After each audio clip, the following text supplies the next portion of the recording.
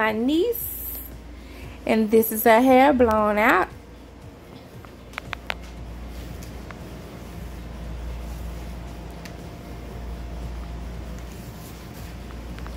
All right, we've added our heat protectant and some anti-frizz agents and stuff on the hair.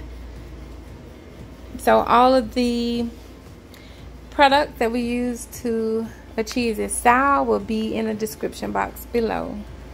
So stay tuned.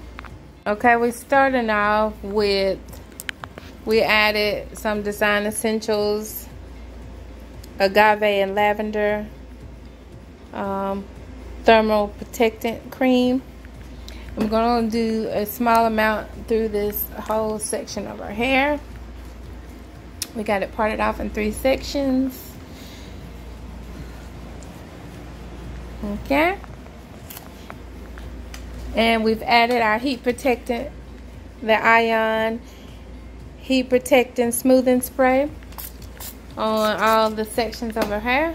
And now we're going to jump right into the tutorial. Stay tuned, you guys. You know, the BaBylissPRO Titaniums and they're the one inch